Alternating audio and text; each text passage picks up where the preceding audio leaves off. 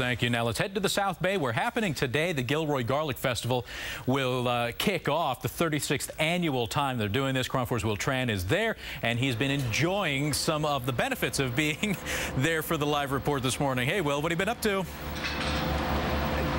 James, this uh, will open up at 10 o'clock this morning. I don't think I'll make it to 8.30. I'm all calamari out. You can see they're very busy behind me. Here's the lovely Kevin. Go ahead, fire it up. There it is. In the hole. That's 500 degrees of good sizzling going on. They have about 2,000 pounds of garlic. And here he is. He's ready to scoop it in. Look at that. That's just being light. So they have about 2,000 pounds of garlic, 5,000 pounds of calamari. And that's just for Gourmet Alley. Let me bring in Ashley. She needs to give her guns a little rest because those pans, we're talking about, well, how heavy? About 20, 25 pounds? Uh, when it's full, yeah. So uh, pans themselves are about 15, 20, and then once all all the products in there, it's about 25, 30 probably. How many pans do you think you'll go through by I the mean, end of the weekend? Plenty. I mean, it's hundreds of pans spread across all of us all weekend. So a lot of pans, a lot of calamari, a lot of goodness. I've noticed that you're wearing sunglasses, so how many eyebrows have you lost throughout the year? Luckily, I have not lost any eyebrows. My dad cannot say the same.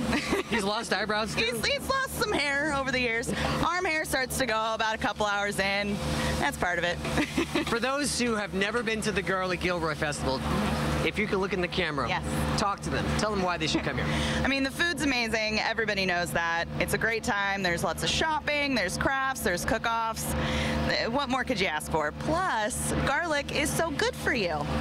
You know what? I'm gonna hand you the microphone. Tell the viewers the ben- health benefits of garlic. I'll be right back. Go ahead. Oh, goodness. Tell them the health benefits. Um, well, it's supposed to be good for cancer prevention, I believe. Uh, it's good for, you know, having bad breath.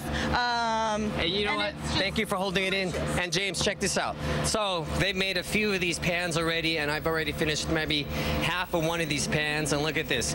Do you ever think about having a garlic press? I mean, you can see chunks of garlic. Oh yeah, no, I mean look at it all. It's it's not for wanting.